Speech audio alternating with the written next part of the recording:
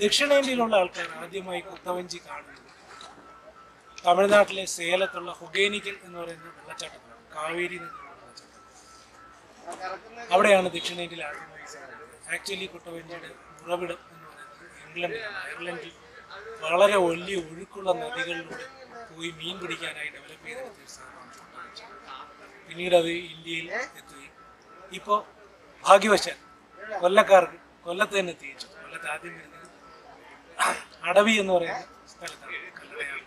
ഇപ്പൊ കൊല്ലത്ത് ടൗണിൽ തന്നെ കായലിലൂടെ വളരെ സുരക്ഷിതമായി ഒരു വിനോദമാണ്. അഞ്ചു പേർക്ക് വെറും അഞ്ഞൂറ് രൂപ മാത്രമാണ് അവർ ചാർജ് ചെയ്യുന്നത്. അപ്പോൾ അവിടെ വന്നാൽ നല്ല രീതിയിൽ എൻജോയ് ചെയ്യാൻ പറ്റുന്ന ഒരു അവസരമാണ്. എല്ലാവരും പ്രയോജനപ്പെടുത്താം നമുക്ക് അതിലേക്ക്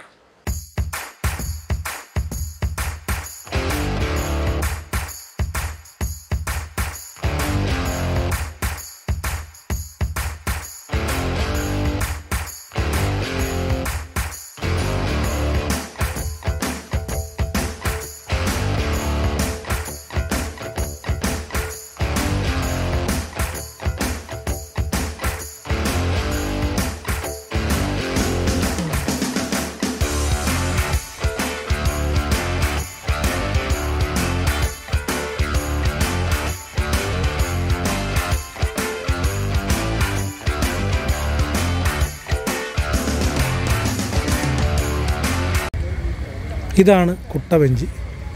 നമ്മളിപ്പോൾ നിൽക്കുന്നത് താനി കായലിലാണ്. അങ്ങ് ദൂരെ കാണുന്നത് മയ്യനാട് താനിയിലേക്ക് കണക്ട് ചെയ്യുന്ന പാലമാണ്. അതായത് മയ്യനാടുകാർക്ക് തൊട്ടടുത്തുള്ള ഒരു സ്ഥലമാണിത്.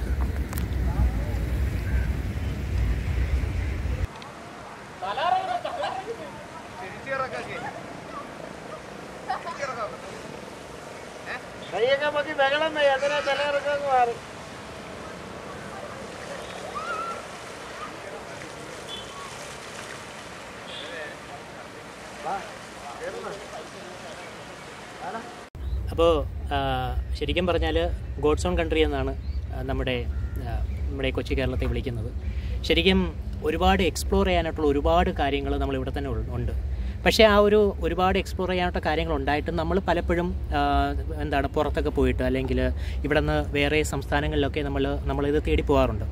ശരിക്കും പറഞ്ഞാൽ ഇത്ര മനോഹരമായിട്ട് ഇപ്പോൾ നിങ്ങൾ കൊല്ലത്തുള്ള ആൾക്കാർക്ക് പോലും ശരിക്കും പറഞ്ഞാൽ ഇങ്ങനത്തെ ഈ കാര്യത്തെക്കുറിച്ച് അല്ലെങ്കിൽ ഇങ്ങനൊരു ഈ കൊട്ടവഞ്ചിയിൽ കൂടിയുള്ള അല്ലെങ്കിൽ കൊട്ടവഞ്ചി സംവിധാനത്തെക്കുറിച്ചോ അല്ലെങ്കിൽ അതിൽ കൂടെയുള്ള യാത്രയെക്കുറിച്ചോ ഒന്നും അറിയത്തില്ല. ശരിക്കും ഒരു പ്രാവശ്യം നിങ്ങൾ തീർച്ചയായിട്ടും ഒരു പ്രാവശ്യം നിങ്ങൾ ഇവിടെ വന്ന് ഇതിൽ യാത്ര ചെയ്താൽ തീർച്ചയായിട്ടും നിങ്ങൾ ഒന്നിൽ കൂടെ പ്രാവശ്യം വരും. അത്ര മനോഹരമാണ്. ആ സറൗണ്ടിങ്സ് ഒക്കെ എത്ര സുന്ദരമാണെന്ന് അറിയാം. നമുക്കിപ്പോൾ വാക്കുകൾ കൊണ്ട് നമുക്കത് പറയാൻ പറ്റില്ല. ശരിക്കും അത് നമ്മളത് അനുഭവിച്ചാൽ മാത്രമേ നമുക്ക് അതിന്റെ ഒരു ആ ഒരു എക്സ്പീരിയൻസ് നമുക്ക് മനസ്സിലാക്കാൻ വേണ്ടി പറ്റൂ. അപ്പോൾ എല്ലാവരും വരിക. ഒരു പ്രാവശ്യമെങ്കിലും നിങ്ങൾ ഇതിൽ കൂടി യാത്ര ചെയ്തിരിക്കുക. അപ്പോൾ നിങ്ങൾക്ക് മനസ്സിലാവും എന്താണ് ഈ പറയുന്നതിൽ എന്താണ് അതിന്റെ വാസ്തവം നിങ്ങൾക്ക് മനസ്സിലാവും. പിന്നെ ഈ പറഞ്ഞ പോലെ ചേട്ടൻ പറഞ്ഞ പോലെ തന്നെ നമ്മൾ സുരക്ഷയെക്കുറിച്ച് നമ്മൾ കൂടുതൽ പേടിക്കേണ്ട കാര്യമില്ല. നമുക്ക് ജാക്കറ്റ് ഉണ്ട്. പിന്നെ അതുപോലെ തന്നെ അധികം ആഴമൊന്നും ഇല്ല. അപ്പോൾ അതുകൊണ്ട് തന്നെ നമുക്ക് പേടിക്കേണ്ട കാര്യങ്ങളൊന്നുമില്ല. നമുക്ക് ഫാമിലി ആയിട്ട് തന്നെ നമുക്ക് യാത്ര ചെയ്യാം.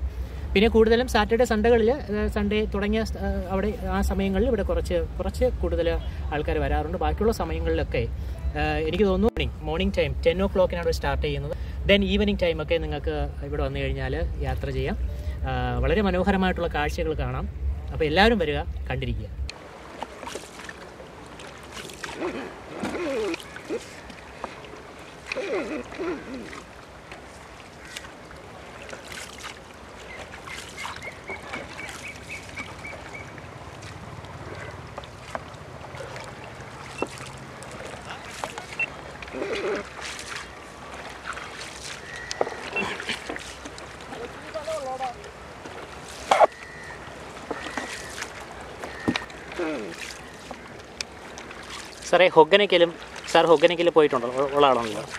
അപ്പോൾ അവിടുത്തെ ആ ഒരു എക്സ്പീരിയൻസും ഇതിന്റെ എക്സ്പീരിയൻസും എങ്ങനെയാണ്? സാറൊന്ന് ഷെയർ ഈ കൊട്ടവഞ്ചി ഡിസൈൻ ചെയ്തിരിക്കുന്നത് തന്നെ കുത്തൊഴുക്കുള്ള നദികളിലൂടെ പോയി മീൻ പിടിക്കാനായിട്ടാണ് ഇത് ആദ്യം കണ്ടുപിടിക്കുന്നത്.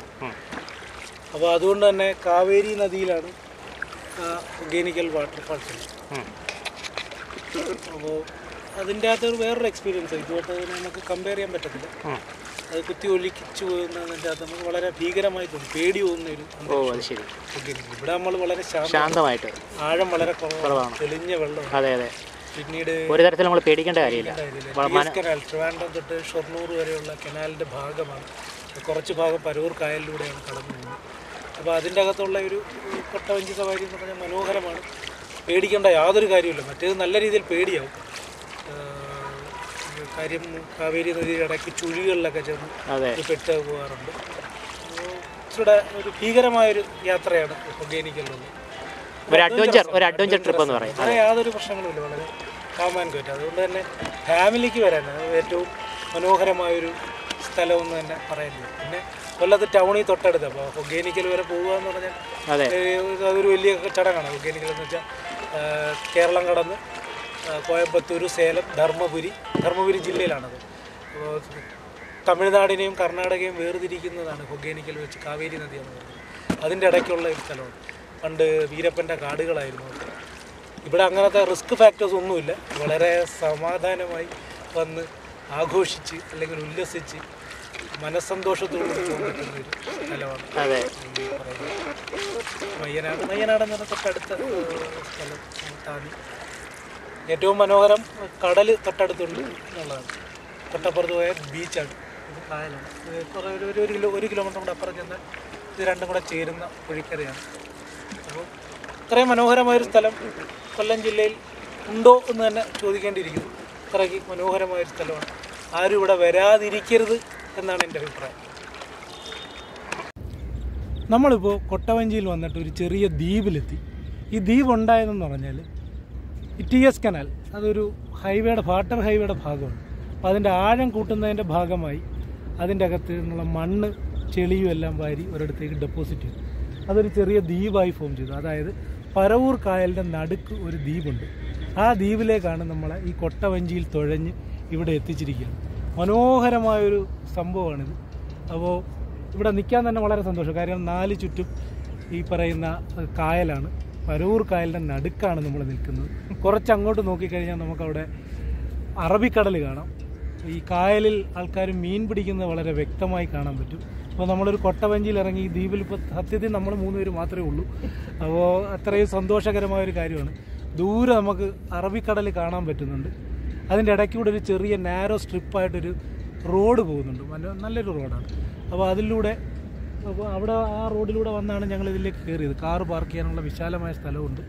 അപ്പോൾ ആ കയറിയിട്ട് കൊട്ടവഞ്ചിയിൽ തുഴഞ്ഞ് ഞങ്ങളെ ഇദ്ദേഹം ഇവിടെ എത്തിച്ചിരിക്കുകയാണ് ഈ പറയുന്ന ദ്വീപിൽ മനോഹരമായ കാഴ്ചയാണ്. ആരും വരാതിരിക്കരുത് എന്നാണ് എന്റെ ഒരു അഭിപ്രായം. കൊല്ലത്ത് ഇത്രയും നല്ലൊരു സ്ഥലമുണ്ടെന്ന് നമ്മളിപ്പോഴാണ് അറിയുന്നത്.